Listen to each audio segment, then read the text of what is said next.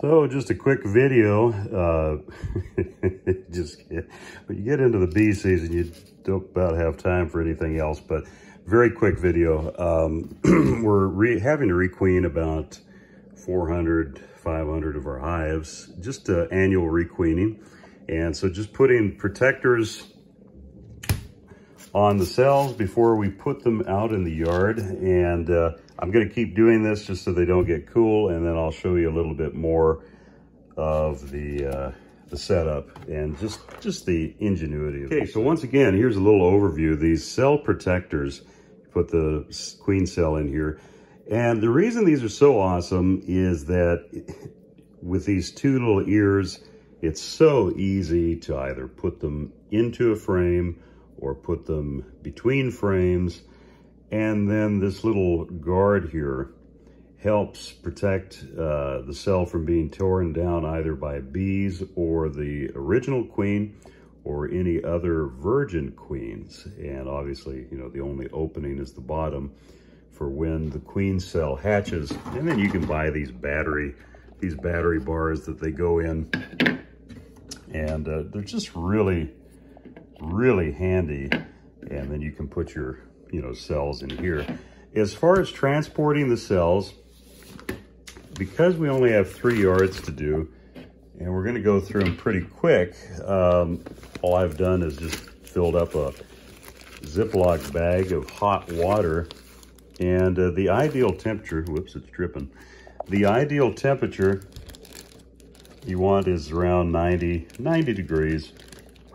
And uh, I've seen guys use hot water bottles. And then I've also seen guys that have units that actually plug into their cigarette lighter that they can keep in the truck. So, I mean, it's sort of, um, you know, and if you're going to be out all day doing queen cells, that would be really important. But at the same time, too, you can do quite a few. Like we're going to be throwing cells into, what is it, 112. Doing roughly a little over 100 colonies today. Uh, and uh, yeah, and real quick too, I've showed this in other videos. This is our incubator. It's for growing cultures in a lab, but you'll see these things come up for auction. Uh, this is the smaller one. And then we've got this two-door unit one, which I haven't fired up here yet. And probably won't have to this year.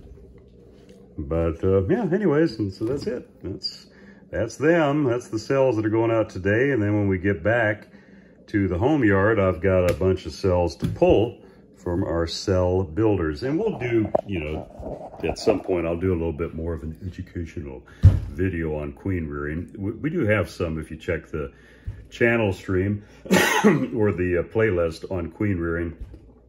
Doesn't have to be complicated.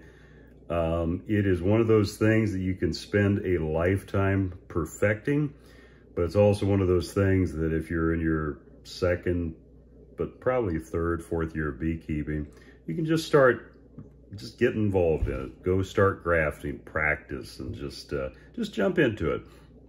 Uh, but definitely best, definitely ideal to find a mentor or somebody that can show you in person just so you can kind of see uh, the component. And then as far as how you raise queens, there's quite a few different variations that you can use. But uh, anyways, catch you later.